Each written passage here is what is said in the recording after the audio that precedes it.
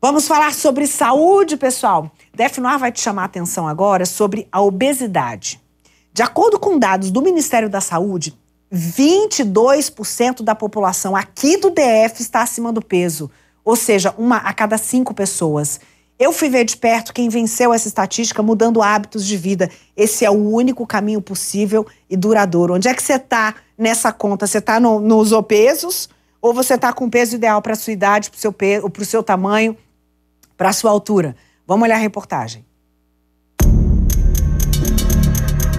Um alerta vem da Organização Mundial da Saúde. Temos um bilhão de pessoas obesas em todo o mundo. Isso equivale a 12,5% da população. E se ficar mais fácil visualizar o cenário, imagine que uma em cada oito pessoas no mundo está bem acima do peso e, portanto, mais propensa a ter doenças crônicas e outras complicações. Onde você se encaixa nesses números, hein? Os resultados vieram de uma pesquisa feita em 190 países com 220 milhões de pessoas. É uma das compilações mais atualizadas desse tempo e traz um alerta para todos os países no que se refere à reeducação alimentar e políticas públicas de combate à obesidade e doenças relacionadas. Mas você sabe quando o sobrepeso é considerado obesidade? A gente fala a respeito de sobrepeso e obesidade, eu geralmente eu chamo de a sementinha da obesidade porque para mim tem os mesmos fatores. O que difere vai ser numeração de IMC, que acaba sendo um padrão ao qual a gente pode englobar um número maior de pessoas, né, num nível mais ambulatorial. Quando a gente está em um consultório individualizado, uma das principais características da obesidade está na apresentação do percentual de gordura, né? que geralmente para homens acima de 20, mulheres acima de 30 já apresentam valores bem significativos. Acima de 25% para homem e acima de 35% para mulheres já começam a ganhar um grau, um grau mais perigoso, né? Quais são as consequências da obesidade? Todas. A gente pode falar da parte física, a gente pode falar da parte emocional, a gente pode falar de transtornos de comportamento, a gente pode falar de uma, uma timidez, um, uma dificuldade de relacionamento ao, aos pares, uma dificuldade de se interagir no trabalho. E aí eu estou descartando alguns fatores tão clássicos que a gente já conhece, diabetes, hipertensão, fatores cardíacos, doenças associadas cronicamente, que são piorar, são totalmente pioradas, vamos chamar assim, ao longo do tempo e que podem converter a câncer cada vez mais graves e mais sérios, morte em vida, como eu costumo falar, derrames ou pessoas que vegetam, né, por conta de uma má alimentação, de um má comportamento que acabou gerando ali uma isquemia ou alguns fatores que podem ser graves e que não levar à morte, mas tornar a vida do paciente e da família uma verdadeira, um verdadeiro luto. Né? Aqui na capital do país, um levantamento do Ministério da Saúde aponta que 22% da população se autodeclara obesa, ou seja, um em cada cinco habitantes, maior que a média mundial. A Márcia estava entre essa população, mas não pode mais dizer isso. Deixou a obesidade para trás com novos hábitos. A gente vai conhecer a Márcia agora, que está vivendo uma verdadeira transformação em vários aspectos da vida. E essa transformação passou por uma notícia bem difícil. Ela estava muito acima do peso, começou uma nova jornada e deixou 21 quilos para trás. Ainda tem mais uma meta para chegar. Mas eu quero saber o seguinte: você não era uma criança gordinha. O que, que aconteceu? Eu nunca tive problema com obesidade. Sempre fui magra, nunca tive problema de ganho de peso. Depois dos meus 40 anos, eu tive um excesso de trabalho gradativo. Eu comecei a trabalhar de 12 a 14 horas e tive uma vida muito sedentária. Eu não fazia nada de atividade física, não cuidava da minha alimentação, eu comia quando dava. Eu sempre estava bem corrida com os meus afazeres e ainda associava a vida profissional com ser mãe, ser esposa, cuidar de casa. Então, isso me, me trouxe uma qualidade de vida péssima. Foi o que ocasionou, acredito eu, os meus ganhos de peso, né? Qual foi o ponto de virada? Olha, o meu ponto de virada foi quando eu estava fazendo uma apresentação é, de curso. Eu sou é, psicanalista e também trabalho com um líder coach, como líder coach. E eu estava numa sala de aula fazendo um trabalho para líderes. E eu me sentia muito cansada, mesmo sentada, eu me sentia muito cansada, ofegante. Eu me lembro que o elevador quebrou, a gente teve que subir escada. Eu cheguei lá no cursinho assim, passando mal mesmo. E aí eu percebi que tinha alguma coisa errada comigo. Meu coração palpitava muito. E eu resolvi ir ao médico e fazer um check-up, todos os exames. O que, que deu nos exames? Nossa, ela deu tudo ruim, não servia mais para nada. Se pudesse pegar aquela pessoa ali e jogar no lixo, porque não tinha serventia para nada. E o médico me deu um choque de realidade. Olha, você é mãe, sua filha é muito nova, você precisa fazer algo por você. Nenhum exame seu aqui, nenhum resultado seu tá legal. Qual foi o caminho que você tomou que trouxe resultado? Aí eu cheguei em casa, reconheci que eu precisava de ajuda, foi o primeiro passo. Eu reconheço que eu estou doente, porque a obesidade é uma doença, a gente não pode romantizar isso.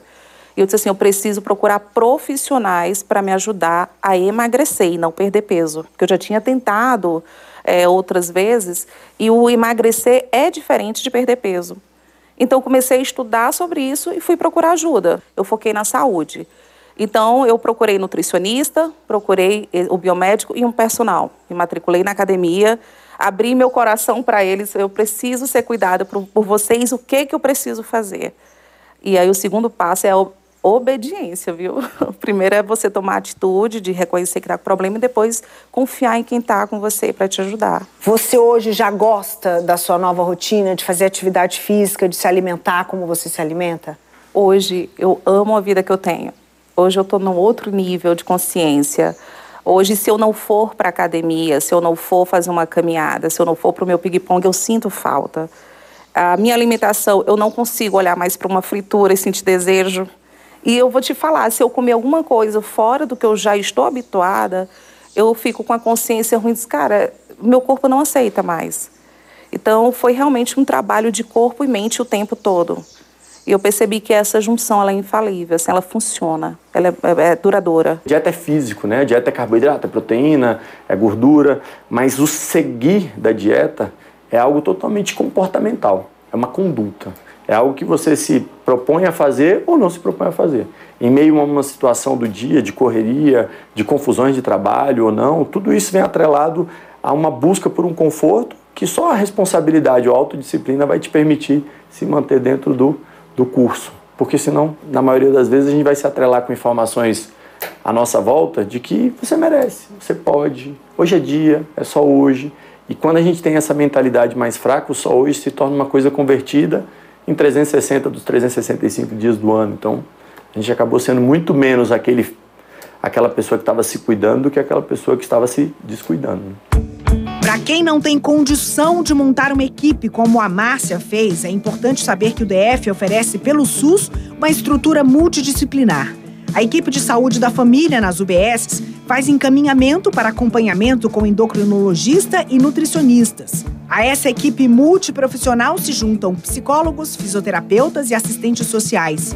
Em casos mais complexos, o paciente é encaminhado ao CEDO, centro especializado em diabetes, obesidade e hipertensão. Se depois de dois anos de acompanhamento a situação ainda não estiver sob controle, a cirurgia bariátrica pode ser recomendada. E rotina é tudo. A Márcia agora vai explicar pra gente o que ela comeria naturalmente no café da manhã dentro do plano alimentar. Agora eu tô vendo que tem coisas aqui que a gente comumente uhum. colocaria no almoço, mas no café da manhã também pode. Também pode. Eu, por exemplo, eu sou muito adepta à salada no café da manhã, porque eu já me acostumei a nutricionista me educou também na questão do plano alimentar.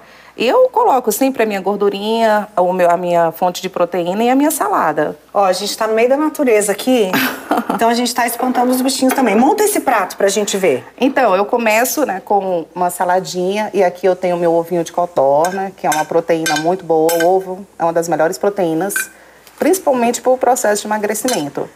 Proteína mantém você bem alimentado, então é importante ter proteína em todas as refeições que dá uma segurada na fome, né? Sim, tanto ela como a fibra. E isso aqui é muito bom para quem quer ganhar massa magra, para quem está malhando, a proteína ela sustenta e ela dá aquela questão da massa magra. Sim, que mais? Aqui eu fiz um patezinho natural com frango, todo tipo de verdurinha que você puder imaginar e um queijinho ricota, né? Ricota você pode usar o cottage também.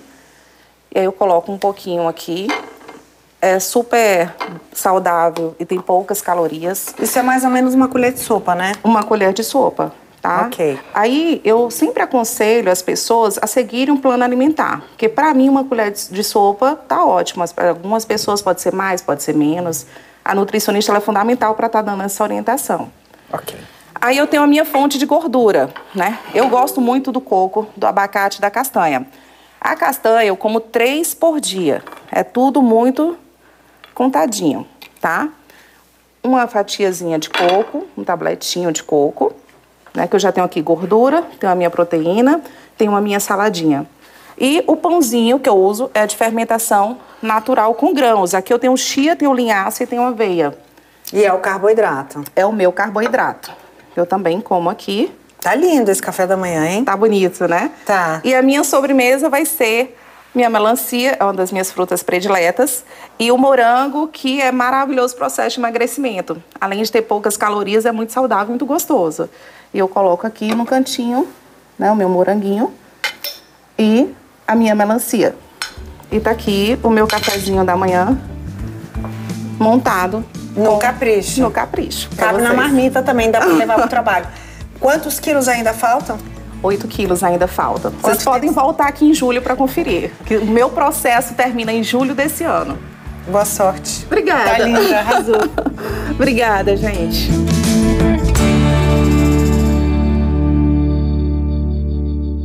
Viu que é possível? Disciplina e persistência todo dia, todo dia, todo dia.